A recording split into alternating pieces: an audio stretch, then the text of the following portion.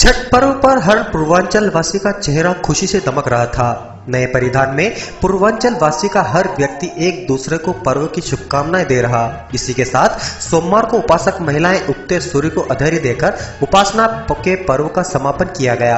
अपने कुल दीपक की सलामती, परिवार की सुख समृद्धि के लिए माता को प्रसन्न कर उपासक महिलाएँ सिर पर पूजन का डाला रखकर नंगे पैर पथरीले रास्तों पर चलकर घाटों पर पहुँच गई।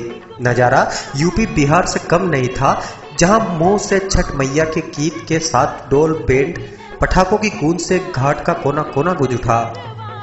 मन में माता के प्रति आस्था का दीप जलाए गुलाबी ठंड में हाथों में पूजा की थाली, जल व दूध से भरे लोटे लिए उपासक महिलाओं ने आधे पानी में खुद को उतारकर ढलते हुए उगते सूर्य को अधर दिया।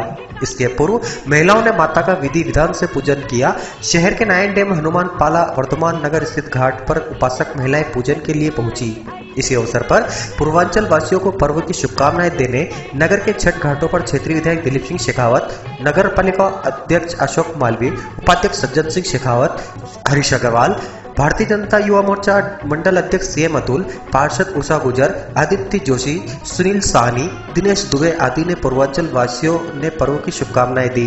इसी तरह प्रदेश कांग्रेस महासचिव दिलीप सिंह गुजर, शहर कांग्रेस अध्यक्ष सुबोध स्वामी, पार्षद संदीप चौधरी, जेपी मल्ला, प्रमोद चौहान, गीता महेंद्र यादव, मनोज राठी, अनिल रघुवंशी, पूर्व पार्षद राजेंद्र गुजर शिव नारायण चौधरी, राधे जायसवाल हर हंगी तिवारी, वीरेंद्र गुजर, अजय शर्मा, दीपक गुजर आदि ने नयन घाट पर नयन डैम पर पूर्वांचल वासियों को पर्व की शुभकामनाएँ दी।